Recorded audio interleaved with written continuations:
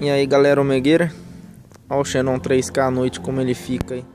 É que o reflexo da placa atrapalha né? Mas dá pra ter uma ideia aí, tá vendo? Ver se dá pra pegar o ângulo dele Clareando. Aí, agora sim, tá vendo? Aí. Aqui dá pra pegar melhor, ó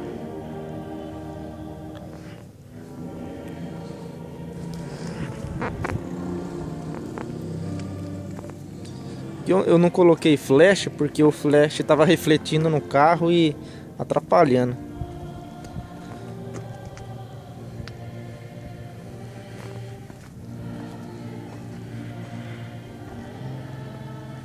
Tá vendo o LED na placa como ele reflete à noite?